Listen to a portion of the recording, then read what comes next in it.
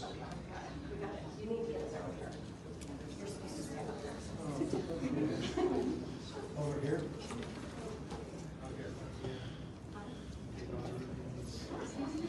Raise your right hand.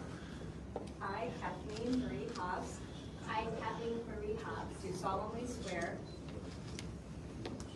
do solemnly do solemnly swear. that I will support the Constitution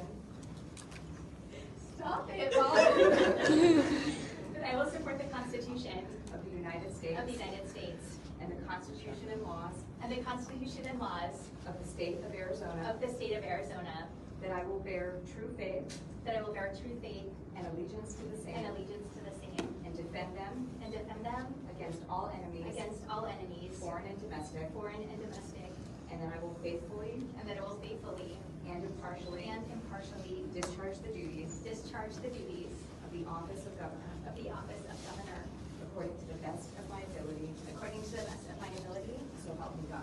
so help me God.